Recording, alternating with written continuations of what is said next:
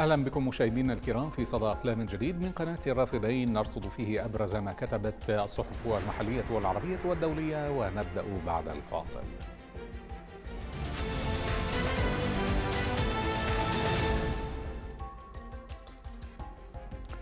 مدد الرئيس الأمريكي جو بايدن حالة الطوارئ الوطنية حول العراق عاما جديدا في إجراء بات شبه تقليدي لكل الرؤساء الأمريكيين منذ عام 2004 وحتى الآن. أي منذ احتلال هذا البلد عام 2003 لزعم إنشاء منظومة حكم تعتمد الديمقراطية في حكم العراق وتؤسس لبناء نظام مؤسساتي. وما يلفت الانتباه هو مسوغات التمديد لهذا العام. ففي نص الرسالة التي بعثها بايدن إلى رئيسة مجلس النواب الأمريكي نانسي بيلوسي ونائبته التي ترأس مجلس الشيوخ كامالا هاريس قال الرئيس الأمريكي إن العقبات التي تعترض إعادة الإعمار المنظم للعراق واستعادة السلام والأمن في البلاد والحفاظ عليهما وتطوير المؤسسات السياسية والاقتصادية هناك لا تزال تشكل تهديدا غير مألوف وغير عادي للأمن القومي والسياسة الخارجية للولايات المتحدة بحسب الكاتب فارس الخطاب في مقاله في موقع مركز رسام. إن ما يهمنا وبالتأكيد يهم كل المراكز الاستراتيجية للدراسات والتحليل. هذا الاعتراف الرئاسي الأمريكي الخطير بفشل المشروع الأمريكي في العراق بدءا من احتلاله عام 2003 وحتى تاريخنا الحالي. أي أن واشنطن التي غزت العراق واعدة العالم بشكل عام والشرق الأوسط بشكل خاص بعراق ديمقراطي مستقر ذي مؤسسات سياسية واقتصادية رصينة وأنه سيمثل مصدر إشعاع وإلهام لدول المنطقة من أجل التغيير نحو النموذج العراقي وبالتالي النموذج الأمريكي. تجد نفسها اليوم في وضع ينفي وجود أي مؤشرات عن وجود نظام دولة في العراق. ورغم ضبابية قرارات الرئاسة الأمريكية منذ عام 2004 وحتى الآن بحالة الطوارئ المتعلقة بالمخاطر القادمة من العراق على الأمن القومي للولايات المتحدة إلا أن التمديد الأخير أفرز ملاحظات بالغة الخطورة. لا يجب أن تمر مرور الكرام بأية حال من الأحوال إضافة إلى الأسئلة التقليدية التي تبرز في كل عام ومع كل تمديد لهذه الحالة والتي تدور أبرزها حول ماهية التهديدات القادمة من العراق والتي تستوجب أن تدخل واشنطن في حالة طوارئ وطنية. ثم ما جدوى هذا الوضع الذي لم ينجح في التخلص من هذه التهديدات؟ رغم مرور 19 عاما وصولا إلى دور الحكومات العراقية المتعاقبة في التعامل مع هذه التهديدات. الملاحظات التي أفرزتها مسوغات الرئيس الأمريكي بايدن تركز على الاعترافات بأن لا يوجد إعمار في العراق بشكل مطلق منذ احتلاله وحتى اليوم. وهذه مسألة تقود إلى مساءلة الحكومات العراقية عن مئات المليارات التي ادعت حكومات المحتل الأمريكي بأنها صرفتها من أجل الإعمار. فهذا الملف تحديدا ربما يعلمه الشعب العراقي تماما. وقد خرج منتفضا ومتظاهرا طيلة سنوات الماضية مطالبا باجتثاث الفساد وإعادة أعمار البنى التحتية المتهالكة. لكن لا حياة لمن تنادي سواء على مستوى هذه الحكومات أو على مستوى اللقاءات الأمريكية مع رؤساء الوزارات العراقية الذين زاروا واشنطن والتقوا برؤسائها. الملاحظة الثانية على رسالة بايدن إلى بيلوسي وهارس هي عدم وجود أمن لا آني ولا مستمر فيما تعلم واشنطن أنها هي من دمرت الجهاز الأمني العراقي بكل تفاصيله ومسمياته بقرارات أصدرها الحاكم المدني للعراق إبان احتلاله بول بريمر. ثم أصبحت واشنطن هي من تتولى تحديد ضوابط القبول والانتساب للجيش العراقي الجديد وبقية القوى الأمنية الأخرى والتي حرصت أن تكون من وحي التقسيمات الطائفية والعرقية وتركت عمليات تلغيم هذه القوى بميليشيات أنشئت قبل احتلال العراق في إيران. وبالتالي أصبحت هذه التشكيلات جزءا من المشكلة الأمنية لا حلا لها. أما الملاحظة الأخرى وهي من أغرب الملاحظات أو قل الاعترافات هي نفي الرئيس جو بايدن وجود مؤسسات سياسية واقتصادية في العراق. وهي مسألة غريبة وخطيرة تتحمل الولايات المتحدة المسؤولية الأولى عنها فمن يهدم البناء المؤسسي لدولة ما بغية تأسيس نظام مؤسسي ناجع ثم يترك هذا البلد بدون هذه المؤسسات يجب أن يحاسب قانونيا مهما امتد الزمن. لأن القائم بهذا العمل وهي الولايات المتحدة هنا كان يقصد تخطيطا وتنفيذا إلغاء مفهوم الدولة في العراق وقد نجح فعلا إذ حول العراق من دولة ذات مؤسسات ضابطة لإيقاع العمل والقانون والحياة الاقتصادية والسياسية إلى دويلة ميليشيات وقوى غير نزيهة جاءت مع قوى الاحتلال الأمريكي ثم الاحتلال الإيراني وقام الجانب الأمريكي فقط بتغطيتها. بغطاء تسويقي اسمه الديمقراطية. ركيزتها الوحيدة إجراء انتخابات مزورة ومقاطعة من قبل الشعب العراقي. ونقرأ مقالا للكاتب علي حسين يقول فيه لا تسألوا ساستنا ومسؤولينا لماذا تكرهون بغداد؟ وكيف أن أحزابهم استولت على مناطق حيوية فيها؟ حولتها إلى إقطاعيات لا يسمح لأهالي بغداد الاقتراب منها. ولا تسألوا لماذا بغداد حائرة في اختيار أمين لها يحولها من زرق ورق عبعوب إلى مدينة تنافس الرياض أو طهران أو الدوحة أو أبو ظبي أو أنقرة.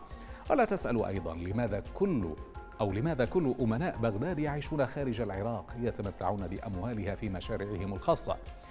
في كل يوم يباغتنا أحد المسؤولين بمفردات مبتكرة. مزيدة ومنقحة من قاموسهم الذي لا ينضب أبدا بما فيه من طرائف وعجائب. وتتذكرون معي مقولة عمار طعمة الذي انزعج لأن كتب التاريخ تقول إن أبا جعفر المنصور بنى مدينة بغداد. دائما ما أشير لكتاب المعماري العراقي موفق الطائي بغداد جنة مع وقف التنفيذ. ربما البعض من القراء الأعزاء يوافقون موفق الطائي. فهم مثله. عرفوا بغداد أطفالا وشبابا. عرفوا حدائقها الصغيرة والبيوت الهادئة. وتنعموا بمشهد شارع الرشيد في الستينات. ومروا من أمام مقهى البرازيلية. أو وقفوا يتفرجون على ما يعرضه حس إخوان. فهم يعتبرون بغداد أجمل مدن الأرض. لكنه الخراب. الخراب الذي يعم أم العراق. كما وصفها محمد القبنشي. منذ أن عاد موفق الطائي إلى بغداد عام 1947 من زمالة دراسية في بريطانيا. قرر أن يفعل شيئا عظيما لبغداد رافعا شعار فلندعها تزهر. كان موفق الطائي وفيا لأساتذته الكبار محمد مكية ورفعة الشادرشي ومعهم الجيل العملاق قحطان المدفعي وإحسان شيرزاد ومعاذ الآلوسي وإحسان فتحي ومحب الدين الطائي ونور محمد رضا وهشام المدفعي ونزار علي جودة وقحطان عوني وسعيد علي مظلوم وعبد الله إحسان كامل ومعهم العشرات يملؤون بغداد ومدن العراق بحضورهم وصخبهم. لم يبق اسم لامع إلا وأراد أن يضم إلى سيرته منجزا يقدمه إلى بغداد. في كتابه يوجه موفق الطائي نداء صادقا حافظوا على بغداد حيث يطلب منا ألا ننسى وصية معلمه محمد مكية التي كتبها قبل وفاته بأيام. استمعوا إلى بغداد. أصغوا إلى صوتها كثيرا. ستكتشفونه في حركة الشجر والنخيل في دفق ماء النهر. في الضحكات الصافية تأملوا لونها. تجدونه في الطابوق في الخشب في زرقة الماء في سمرة الأهل.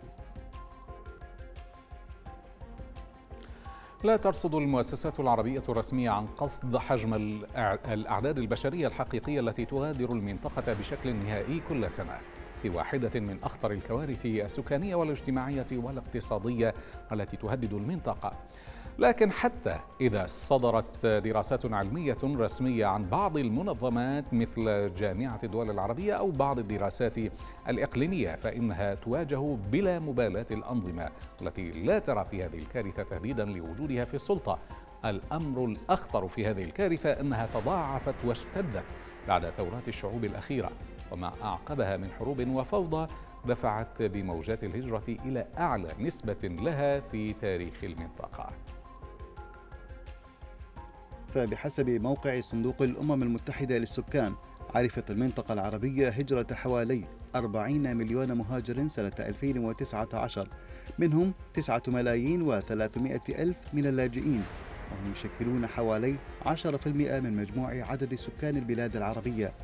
يمثل هذا المؤشر الرقمي أخطر المؤشرات عن التحولات التي ستعرفها المجتمعات العربية في المستقبل على كل المستويات وخاصة منها الاجتماعي والاقتصادي بما هما العصب المحركة للأمة وشعوبها. كيف تحولت بلاد العرب إلى جحيم لا يطاق؟ وهو جحيم تتساوى فيه الدول الغنية بالدول الفقيرة بل هو جحيم أشد في حال السلم منه في حال الحرب. ففي سوريا يهرب الناس لاجئين من جحيم الدمار والقصف والقتل الذي تمارسه ميليشيات الأسد ومرتزقة روسيا وإيران. لكنهم قد يعودون غدا إلى قراهم ومدنهم يوم تنتهي الحرب. أما في بقية الدول العربية الأخرى التي يهرب منها شبابها وهي في حال السلم كما هو الحال في تونس أو الجزائر أو المغرب فإنهم في الغالب لن يعودوا أبدا إلى أوطانهم. الحرب والبطالة والاستبداد وغياب الحريات وانتشار الفساد وانسداد الأفق والظلم منتشر في كل مكان حول البلدان العربية إلى جحيم لا يطاق. لم يعد الأمر مقتصرا على الشباب العاطل وعلى أصحاب الرأي والفكر بل طال الوباء كل طبقات المجتمع بما فيها الطبقات الميسورة التي تسارع بإرسال أبنائها إلى الخارج لأنها تعلم أن الطوفان قادم في الطريق وأن مسألة الهروب الكبير مسألة وقت فحسب. نشرت صحيفة فيزغلياد الروسية تقريرا تحدثت فيه عن الخطوات التي سوف تتخذها روسيا ردا على الانضمام المحتمل لكل من فنلندا والسويد إلى حلف شمال الأطلسي. قالت الصحيفة في تقريرها روسيا هددت البلدين باتخاذ إجراءات انتقامية يرافقها رد فعل دبلوماسي وعسكري يختلف عن الموقف الذي اتخذته تجاه أوكرانيا. ونقلا عن صحيفة جلوبال تايمز يرى الخبراء الصينيون أنه عقب الانضمام إلى الناتو ستجد السويد وفنلندا نفسيهما في مصيدة الجانب الأمريكي الأمر الذي يفاقم الوضع الأمني في أوروبا. وحول هذا أوضح الباحث البارز في الدراسات الأوروبية في معهد الصين للدراسات الدولية سوي هونغ جيان أنه عقب الانضمام إلى الناتو تستطيع الولايات المتحدة نشر أسلحة استراتيجية في هذه الدول. ونقلت الصحيفة عن العالم السياسي مرات بارشيروف تعقيبه الذي قال فيه في جميع الأحوال سترد روسيا على انضمام السويد وفنلندا إلى الناتو.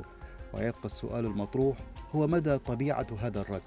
ففي حال ظهور قواعد تابعة للحلف على أراضي هذه الدول ستنشر روسيا أنظمة صواريخ بما في ذلك الحاملة للأسلحة النووية. فضلا عن أنظمة دفاع جوي تستهدف أراضي فنلندا والسويد. لكنه في الوقت ذاته استبعد إمكانية فرض عقوبات منفصلة ضد فنلندا والسويد على غرار حظر السياحة المتبادلة. بدوره يعتقد النائب الأول لرئيس لجنة مجلس الاتحاد للشؤون الدولية فلاديمير ديجباروف أن رد فعل موسكو على انضمام جيرانها الشماليين إلى الناتو يختلف تماما عن ردها على محاولات مماثلة من جانب أوكرانيا. وأضاف اتبعت أوكرانيا سياسة معادية لروسيا وقطعت سلطاتها جميع العلاقات مع روسيا ولم تكتف بذلك فقط بل منعت مواطنيها من التحدث باللغة الروسية وعززت قدراتها الدفاعية ونظرا لاختلاف الوضع بالنسبة لفنلندا والسويد. نحن متأكدون من أن فنلندا ستبذل جهدها في سبيل الحفاظ على العلاقات التي تجمعها مع روسيا وسترفض إقامة بنية تحتية عسكرية للتحالف على أراضيها ولن تسمح أيضا بنشر أسلحة نووية على ترابها. نشرت صحيفة واشنطن بوست مقالا حول التغير الكبير في ميزان القوى العالمية بين صعود متزايد للولايات المتحدة وحلفائها الأوروبيين مقابل تقهقر روسيا. وذكرت الصحيفة أن روسيا فشلت في غزوها المتهور لأوكرانيا حيث رأت أنه بغض النظر عن كيف ستنتهي الحرب فإن الحقيقة هي أن موسكو تبدو غير قادرة على هزيمة دولة مجاورة صغيرة نسبيا بينما أصبحت أمريكا وحلفاؤها أكثر اتحادا مما كانوا عليه منذ سنوات فيما بات حلف شمال الأطلسي ناتو على وشك أن يصبح أكثر قوة مع إضافة فنلندا والسويد. وقال وزير الخارجية الأمريكي الأسبق إن الرئيس الروسي فلاديمير بوتين أخطأ بشكل واضح في تقديرات قدرات روسيا على الحفاظ على مشروع كبير وعندما يحين وقت التسوية لن نعود إلى العلاقة السابقة بل إلى وضع سيكون مختلفا لروسيا بهذا السبب. وتساءلت الصحيفة الأمريكية عن تعامل الخصوم مع تعثر جيش في المعركة كما حدث مع روسيا لافتة إلى أن المنطق القاسي للحرب يقول أن القوات المتقدمة يجب أن تتحرك بسرعة لتعزيز مكاسبها والاستفادة القصوى من الوضع الاستراتيجي الجديد. ولخص أتكسون النظام الجديد للمعركة في أوروبا على هذا النحو. في أقل من ثلاثة أشهر تغير المشهد الاستراتيجي بشكل عميق. مما أدى إلى تنشيط تحالف عسكري لحلف شمال الأطلسي بدا وكأنه يحتضر تقريبا مما يقوض إن لم يكن يقضي على الطموحات الإمبريالية الروسية ويعيد تأكيد القيادة الأمريكية في تحالف قوي من الديمقراطيات الليبرالية ذات التفكير المماثل. بدورها أشارت الصحيفة الأمريكية إلى أن التاريخ يعلم أهمية اقتناص اللحظة لكن سياسي كيسنجر يحذر من أن إدارة بايدن يجب أن لا تبالغ في لعب دورها في نجاح أوكرانيا فقد تصبح هزيمة بوتين قضية فوضوية للغاية من خلال محاولة روسية يائسة لاستخدام الأسلحة النووية أو ببساطة من خلال انتشار الفوضى والتشرذم عبر أوراسيا مع تشرذم القوة الروسية.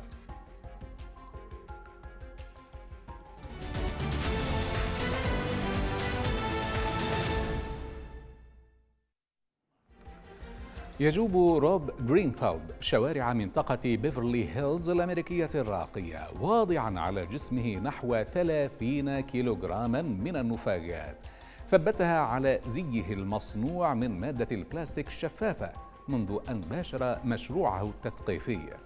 وقال الناشط البيئي لوكالة فرانس بريس إن الغالبية بيننا تعتقد أن النفايات ينبغي أن تكون بعيدة عن الأنظار والأذهان. نرميها في سلة المهملات ولا نفكر بها بعد ذلك. مضيفا أردت إيجاد وسيلة مرئية لمساعدة الناس على فهم ما يمثله تراكم نفاياتنا. وفي إطار التحدي الذي يخوضه قرر أن يرتدي كل النفايات التي ولدها على مدار شهر كامل ويجوب بها شوارع لوس أنجلوس لزيادة الوعي لدى الأشخاص الذين يقابلونه. ومع الوصول تقريبا إلى نهاية التجربة أصبح جرينفيلد يصطحب معه 28 كيلوغراما من النفايات مؤلفة تحديدا من مواد تغليف وضعها في جيوب ضخمة ثبتها على أطرافه وبطنه وظهره.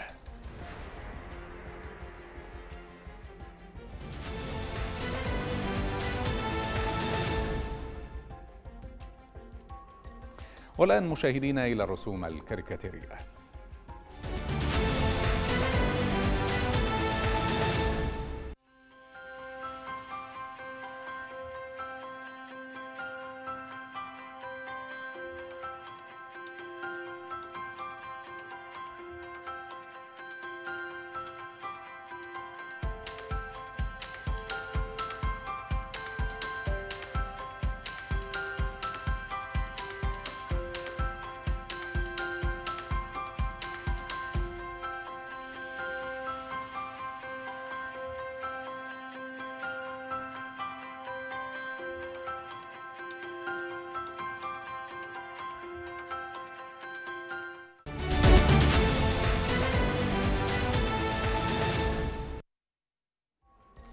وبهذه الرسوم نصل لختام حلقة اليوم من صدى الأقلام. في صدى أقلام جديد نلتقي بحول الله وقوته. دمتم بخير مشاهدينا إلى اللقاء.